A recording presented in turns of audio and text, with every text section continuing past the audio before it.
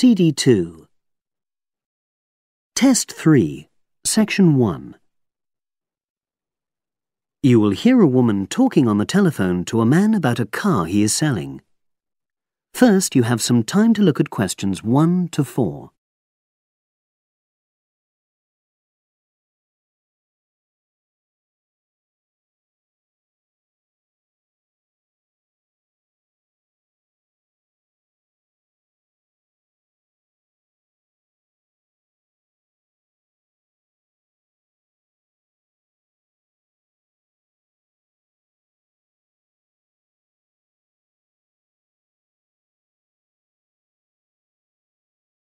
You will see that there is an example which has been done for you. On this occasion only, the conversation relating to this will be played first.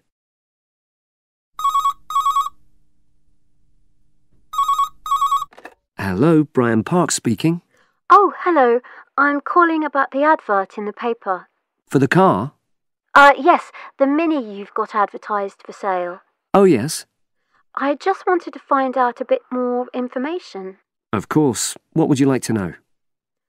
It's my brother who's interested, actually, but he's not in today, so he asked me to call you. Fine. Great, thanks. So it's a Mini, Yep. and how old is it? Just coming up to 13 years old. The man says the car is just coming up to 13 years old. So 13 has been written in the space. Now we shall begin.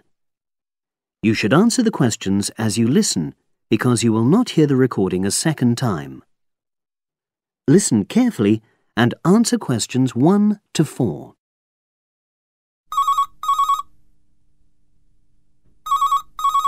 Hello, Brian Park speaking. Oh, hello. I'm calling about the advert in the paper. For the car? Uh, yes, the Mini you've got advertised for sale. Oh, yes. I just wanted to find out a bit more information. Of course. What would you like to know? It's my brother who's interested, actually, but he's not in today, so he asked me to call you. Fine. Great, thanks. So it's a Mini, Yep. and how old is it? Just coming up to 13 years old.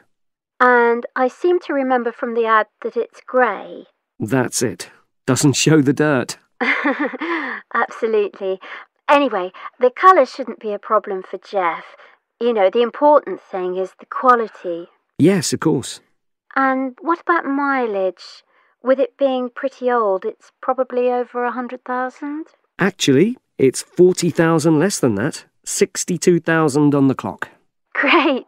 I remember now. I'm confusing it with another ad I was looking at. Right.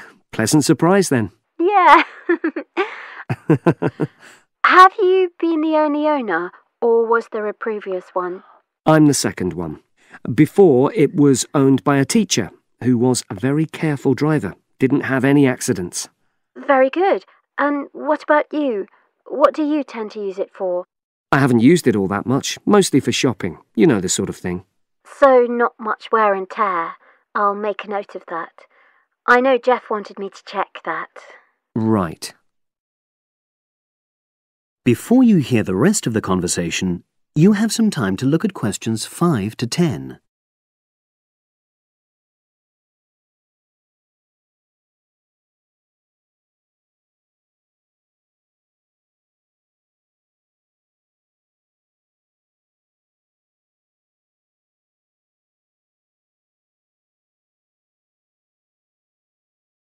Now listen and answer questions 5 to 10.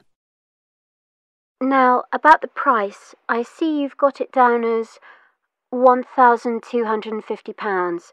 I'm not sure Jeff will be able to come up with that amount. In the ad, I did say 1,250 or nearest offer. So, would you be prepared to go down to 1,000? That's really too low, I'm afraid. 1,100? I might be able to go to that. OK, I'll make a note of that. What about tax? Is it due soon? Got another five months before it's due. Oh, that's a real plus, yes. I'll make a note of that. Okay. Now, you say it's in good condition. For its age, I'd say yes, definitely. It's just been serviced and there were no major problems. Major. I'd be able to show you the service report. The only thing is, you'd have to get a new tyre in the near future. Though it's still okay, you know. It's certainly absolutely safe at the moment. Okay, fair enough. Yes, I understand. And the garage also mentioned that one headlight could probably do with replacing. They think there's a fault there, you know, intermittent. Well, we'd obviously look at all the documents, but that sounds very straightforward. Of course. I've got all the service documents up to date, and you can look at those. Well, it all sounds pretty good, and I know my brother will be interested, so would it be possible for him to see the car? He's back from his trip tomorrow and away tonight, so how about tomorrow? Tomorrow? Wednesday? I'm, I'm afraid that's not possible. I'm out pretty much all day. Well, Thursday then? That'd be fine, yeah. In the morning? Yes, that'd suit me perfectly. Great. Now, you'll need my address. Oh, yes, of course. What is it? It's number 238, 238? London Road. Oh, that's easy enough. Yes, very straightforward. So I'll pass on these notes to Jeff, and he'll see you in a couple. That is the end of section one. You now have half a minute to check your answers.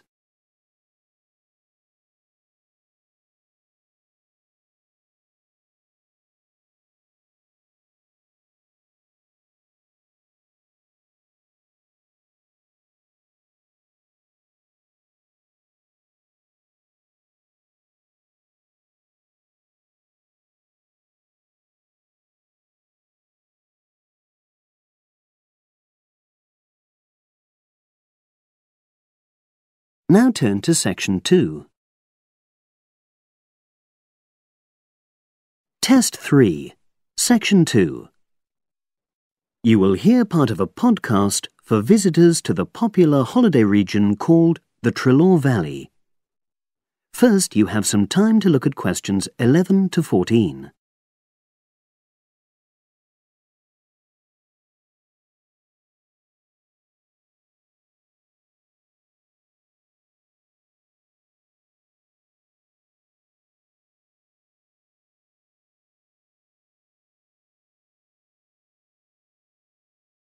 Now listen and answer questions 11 to 14.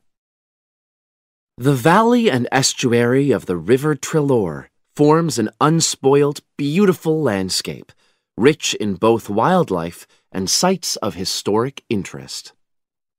There are many ways to explore the area, and public transport links are good. It is possible to leave your car behind and travel by boat, train, or bus with just short walks in between stops. The Trelaw Valley Passenger Ferry runs between villages along the river estuary and provides a link with a train station at Barry, which is about 10 minutes' walk from the riverside village of Calton. In the past, the river was the main form of transport in the area, and as in the past, today's ferry service operates according to nature. The river estuary is tidal, and so the ferry timetable differs from day to day, according to the times and height of the tide. The ferry is also seasonal, normally running between April and September, depending on the weather. A timetable for the whole year can be downloaded from the internet by visiting www.trelawferry.co.uk. If you just want to sit and relax and enjoy the lovely scenery, you can take a river cruise to Calton and back from the nearby city of Plymouth. In the past, steamships brought early tourists along the same route. Queen Victoria and her family enjoyed such a trip in 1856. The journey is quicker these days. The round trip takes between four and five hours, depending on tides and weather. If you prefer, you can travel upriver by boat and return to Plymouth by train. All cruise boats and trains have wheelchair access. For more information and for departure times, ring Plymouth Boat Cruises on 017 528 23104. Trains run several times a day throughout the year between Calton and Plymouth, with various stops in between. They are used by both local commuters and tourists who want to enjoy the beautiful scenery. The highlight of the journey is crossing the river on the stunning viaduct, which was built at the beginning of the 20th century and towers 120 feet over the water. It is unnecessary to book, and tickets can be bought on the train. For information about fares and timetables, contact National Rail Enquiries by phone or online. The bus service in the Trelaw Valley now connects all train stations and villages in the area. Especially for holidaymakers, there's a Rover ticket which can be used at weekends and on national holidays and allows unlimited journeys on those days. The Rover ticket provides great value for money and is now even cheaper than it was last year. An adult ticket costs £5.50 a day. Senior citizens can travel for £4.50, and a family ticket for up to five people costs just £12. Tickets can be bought on the bus. Now you have some time to look at questions 15 to 20.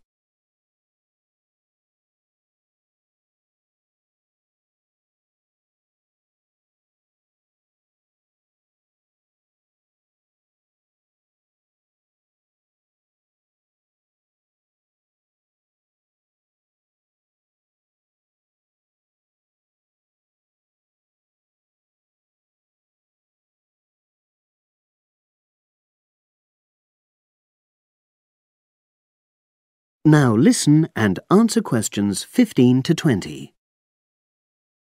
At the center of the Trelaw Estuary area is the historic riverside village of Calton.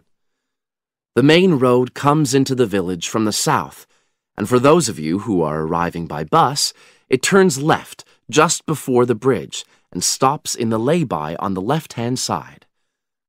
From there, it's just a short walk to Calton's various attractions. If you're arriving by car, you have to leave it in the main car park. Go over the bridge and take the first turning on the right. Then go on until you come to the end of that road. It's the only place to park in Calton, but there's no charge. If you're interested in local history, there's a museum in Calton with farming, fishing, and household implements from the late 19th century. As you come in from the south, Cross the river and go straight on the same road until you reach the end. Also, on the subject of history, you can go and see the old mill, which has recently been renovated and put back into use. Turn left before you come to the bridge. Then go straight on and then take the first turning on the right. This leads straight there. If you're interested in arts and crafts, there's a potter's studio where you can watch the artist at work. After crossing the bridge, turn left, and it's the second building on the left. Finally, when you feel in need of refreshments, there's a cafe opposite the old boathouse and a picnic area near the mill. That is the end of section 2. You now have half a minute to check your answers.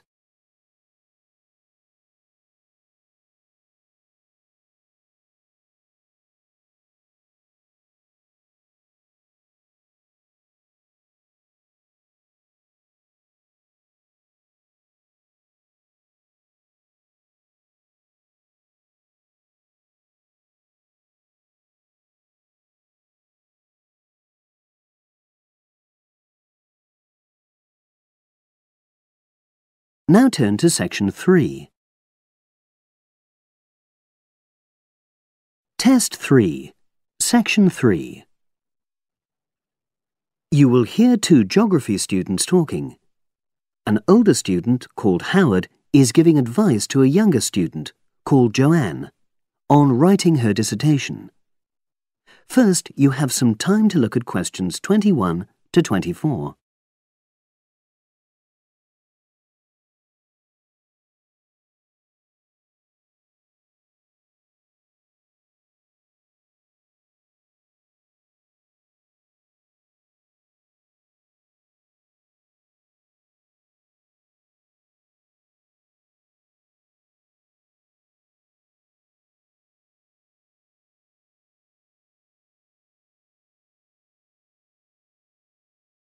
Now listen and answer questions 21 to 24.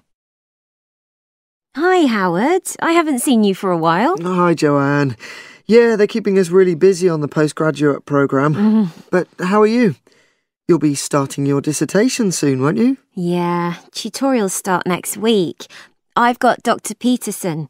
You'll remember it all from last year, of course. It's not something you forget easily. Oh. But seriously, although I didn't expect to enjoy writing my dissertation, uh, and in fact, I didn't really find it much fun, I wouldn't have missed the experience. I found it really improved my understanding of the whole degree programme, you know, from the first year on. right. So, what are you doing yours on? Glaciated landscapes. Although I haven't decided exactly what aspect yet. Hmm, I did mine on climate systems, so I can't help you much, I'm afraid. but you'll be fine once you start your tutorials. Dr. Peterson will help you focus. I know, and he'll set me deadlines for the different stages, which is what I need. My concern is that I've got tons of material on the topic, and I won't be able to stick to the word limit, you know? Hmm, I remember I had different concerns when I was doing my dissertation. Last year. Yeah, before my first tutorial, I did a lot of fairly general reading because I hadn't fixed on my topic at that stage. I actually enjoyed that quite a lot and really improved my reading speed, you know, so I was getting through a lot of material. I was frightened I wouldn't remember it all though, so I got into the habit of making very detailed notes. So, did you find your tutor helpful in getting you started? Yeah, we certainly had some interesting discussions, but it's funny, I saw a brilliant programme about climate change, and it was that that really fired me up. It was talking about some recent research which seemed to contradict some of the articles I'd been reading. Hmm. Now you have some time to look at questions 25 to 30.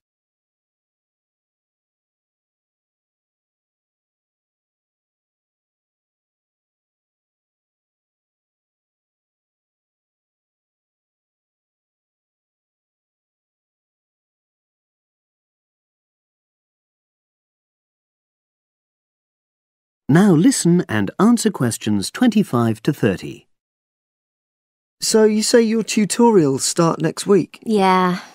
Well, the first month's crucial. You've got to meet your tutor and decide on your focus, but don't become too dependent on him.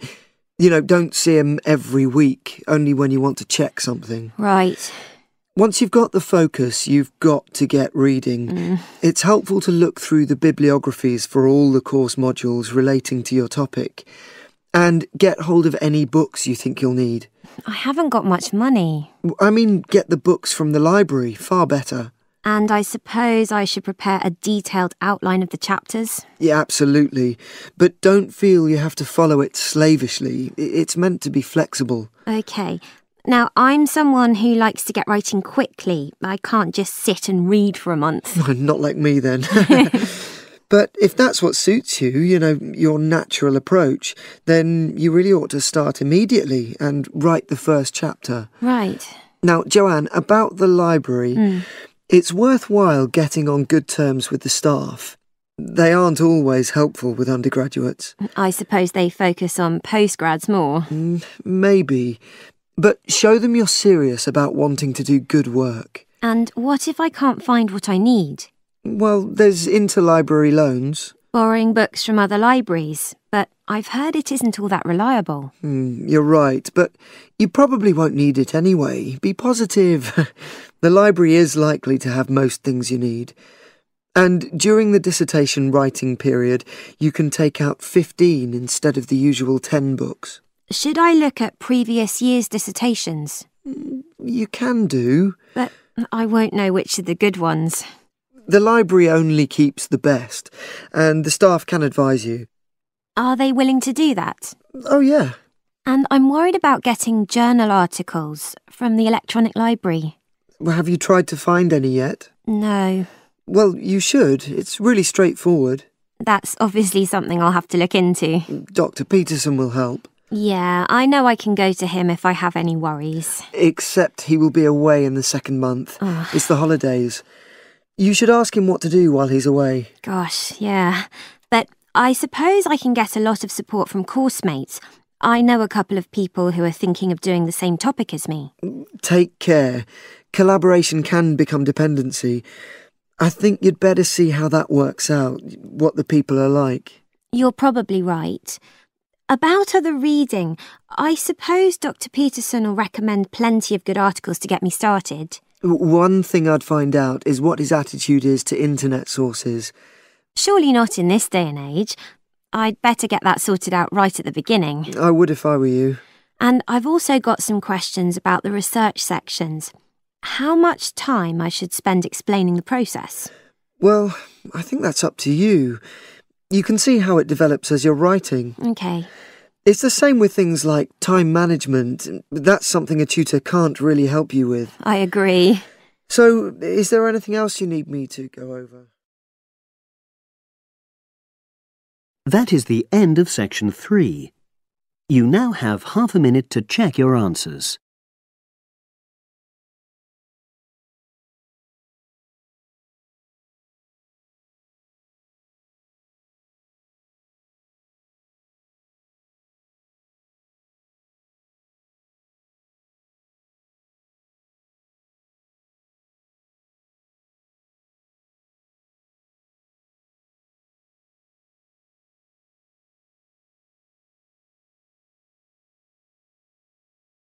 Now turn to section 4. Test 3, section 4. You will hear a psychology undergraduate describing the research she is currently doing on expertise in creative writing. First, you have some time to look at questions 31 to 40.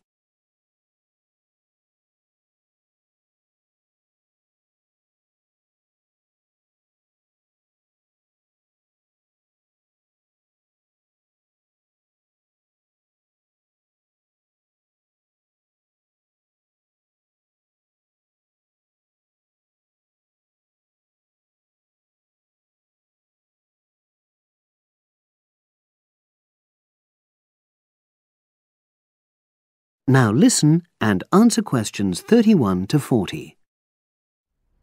For my short presentation today, I'm going to summarise the work I've done so far on my research project to explore expertise in creative writing. Essentially, I'll share with you the process I underwent to gather my interim findings.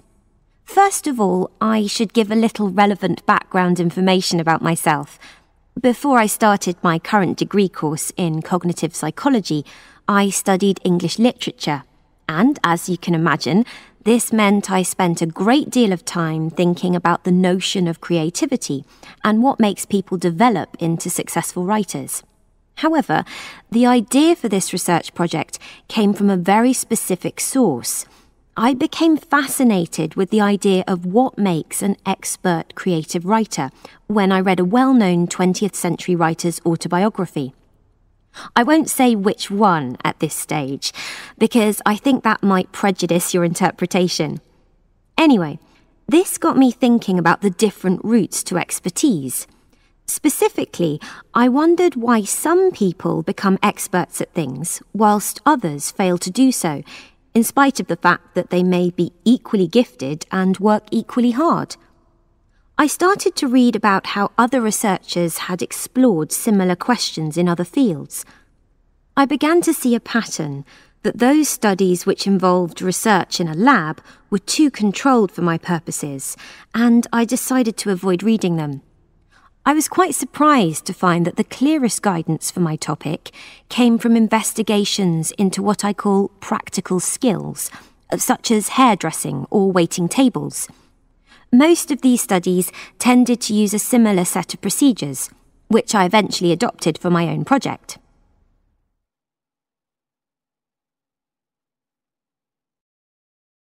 I'll now explain what these procedures were. I decided to compare what inexperienced writers do with what experienced writers do. In order to investigate this, I looked for four people whom I regarded as real novices in this field which proved easy, perhaps unsurprisingly. It proved much harder to locate people with suitably extensive experience who were willing to take part in my study. I asked the first four to do a set writing task and, as they wrote, to talk into a tape recorder, a technique known as think aloud. This was in order to get experimental data. Whilst they were doing this, a research assistant recorded them using video. I thought it might be helpful for me in my transcriptions later on. I then asked four experienced writers to do exactly the same task. After this, I made a comparison between the two sets of data, and this helped me to produce a framework for analysis. In particular, I identified five major stages which all creative writers seem to go through when generating this genre of text. I think it was fairly effective, but still needs some work, so I intend to tighten this up later for use with subsequent datasets. I then wanted to see whether experienced writers were actually producing the better pieces of writing. So I asked an editor, an expert in reviewing creative writing, to decide which were the best pieces of writing. This person put the eight pieces of work in order of quality, in rank order, and using his evaluations, I was then able to work out which sequence of the five stages seemed to lead to the best quality writing. Now, my findings are by no means conclusive at this point. I still have a long way to go. But if any of you have any questions, I'd be happy to answer them and go. That is the end of section 4. You now have half a minute to check your answers.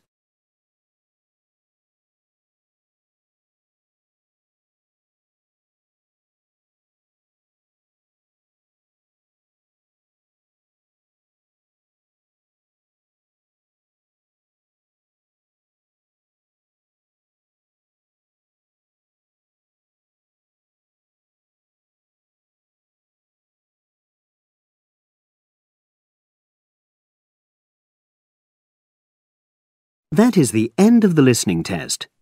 You now have 10 minutes to transfer your answers to the separate answer sheet.